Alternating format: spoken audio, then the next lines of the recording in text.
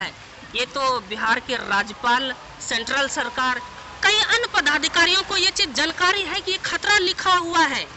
लेकिन उसके कौन में अब तक नहीं गया है कि हम राजमार्ग को ठीक कर ले। क्या छोटू भाई आप बता सकते हैं कि यहाँ पर कितना घटना दुर्घटना हुआ है? पैंतीस से चालीस आदमी मोटरसाइकिल लेके आते हैं स्पीड में आते हैं वो उड़ जाते हैं फ़्लाइट की तरह। फ़्लाइट की तरह से। और गिर के वो एक्सीडेंट हो जाते हैं और बाइक वाला सबसे ज़्यादा इसमें दुर्घ दुर्घटना होता है उसका। आप यहाँ का स्थानीय व्यक्ति हैं इस जगह बराबर रहते हैं। अब तक में कितने बाइक वाले को उठाकर अपने ट्रीटमेंट कर रहे हैं कितने हॉस्पिटल भेजे हैं? कम से कम 25 से 30 आदमी को हम बाइक वाले को उठा के यहाँ से हॉस्पिटल दिए और मेडिकल स्टोर में ले गए।